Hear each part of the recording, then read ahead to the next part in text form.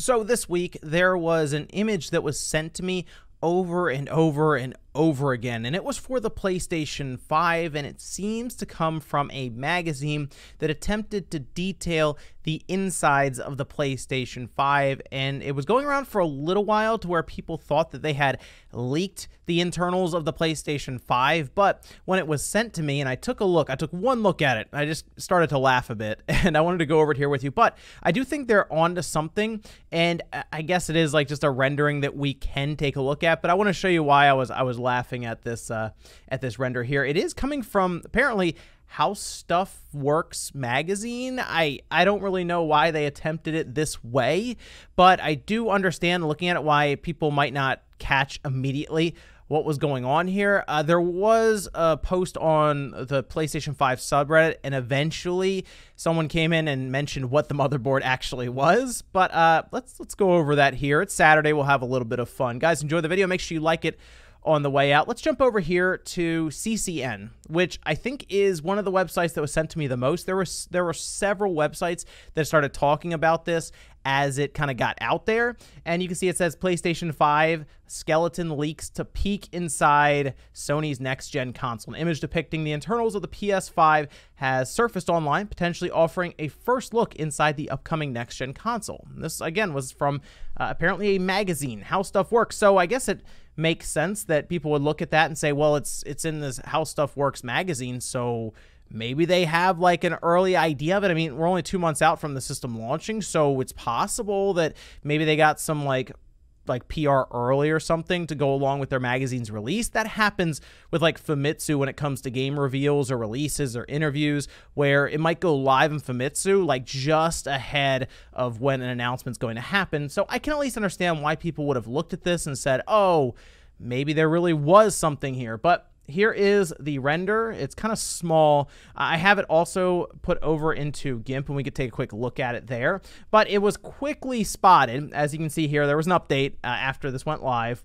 Uh, it says, according to eagle-eyed fans, the motherboard is none other than the very same one found in Sony's PlayStation 3 console, suggesting the image is a mere conceptual mock-up based on the console details shared by Sony to date, rather than a genuine like-for-like recreation of the PS5 internals. Yes, uh, let me let me show you in in uh, some closer detail here. Like I said, I pulled it over into some imaging editing software, so I can kind of talk you through uh, some of the little spots here. A few that did make me laugh, like I said. So this is the scan of the page that was put out.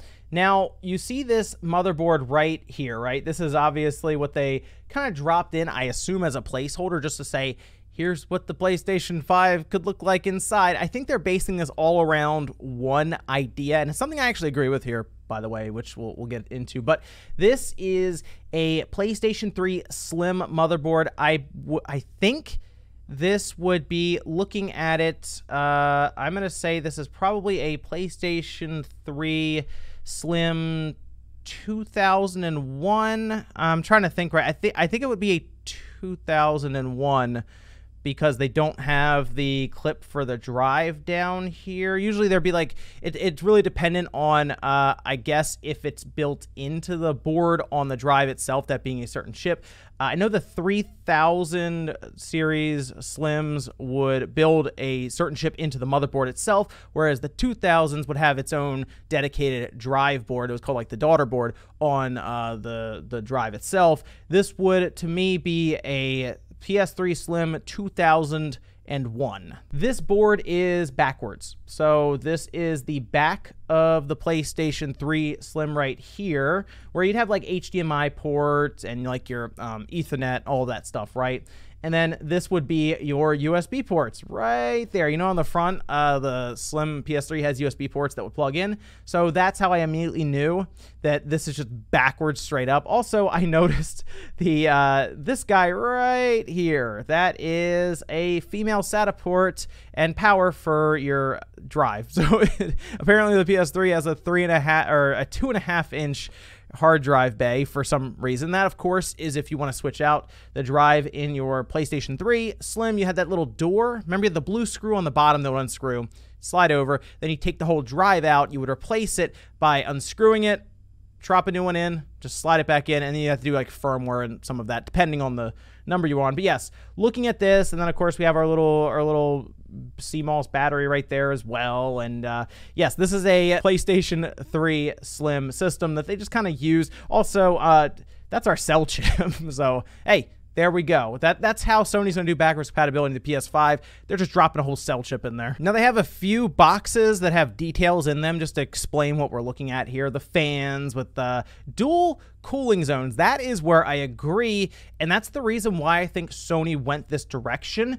I do wonder, however, if there are two fans in there or really just one you can you can do fan shrouds inside and you can all of a sudden have two climate zones but you would have one fan spinning. So if that fan has to increase in speed because one side is getting hotter than the other, the other one will just get cooled more. They could go with a two fan design, but I, I'm almost positive the reason that the system looks the way it does with vents on either side is because there will be two cooling zones. I think one is going to be for the chip itself, the CPU GPU combo AMD will provide, and I think on the other side will be for the internal power supply. Because remember, Sony has mentioned they're doing things a bit differently, and we did see that in uh, their their patent for the dev kit that showed two active cooling zones. Right, we had several fans on the outside. That clearly was not going to work into their final design. While some people say they would have liked to have that look, I mean let's let's be honest. People would have looked at on the shelf and been super confused as to what it was this is a better design by far for the home.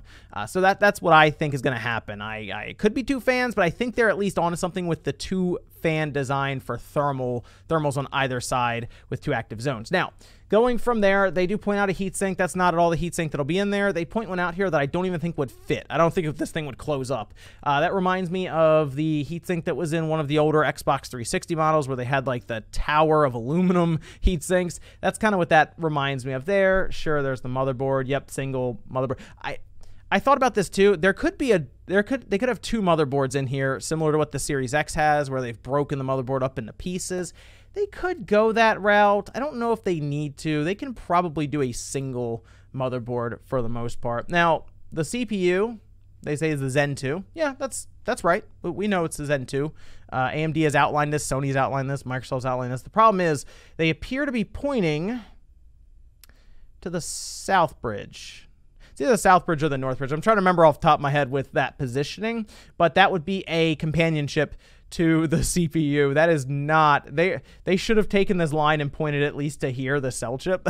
I don't know why they didn't point to the chip that's getting the heatsink, but they decided to point to I think is the South Bridge if I'm remembering correctly. And then just for fun, just to just to top it all off, down here they have the SSD right? It's the PlayStation 5's 825 gigabytes of storage that rep- represents the amount of usable space. Uh, do, that would represent the overall size. The usable space will be less than that. So I'm not 100% sure uh, how much the OS will partition, but I'm I'll say we'll probably get like 750 gigabytes to 760, depending on how much it actually takes up, right? So it's not going to be 825, and it'll certainly be below 800 gigabytes. But the best part, they are pointing to the wireless LAN chip on the PS3. I just scribbled all over that. Yes, this is right here. The square guy right there is our Wi-Fi Bluetooth chip for the PlayStation 3.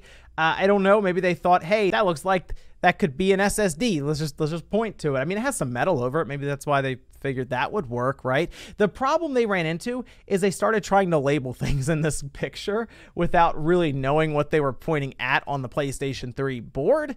It was just really funny. You can even see some of the some of the antenna traces and stuff coming off of it.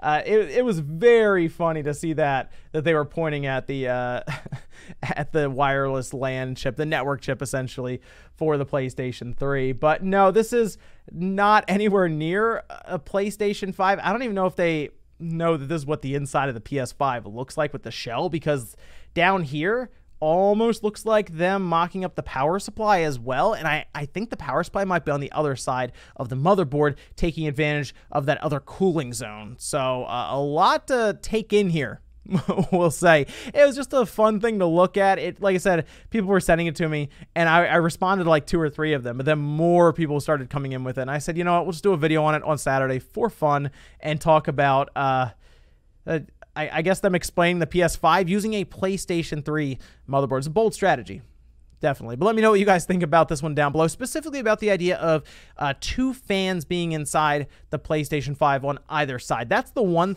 takeaway from this that I think they're correct about. So let me know what your thoughts are on that one. Thanks, guys, for watching. Make sure you like the video and the way out if you enjoyed it. Dislike it if not, and I'll see you next time.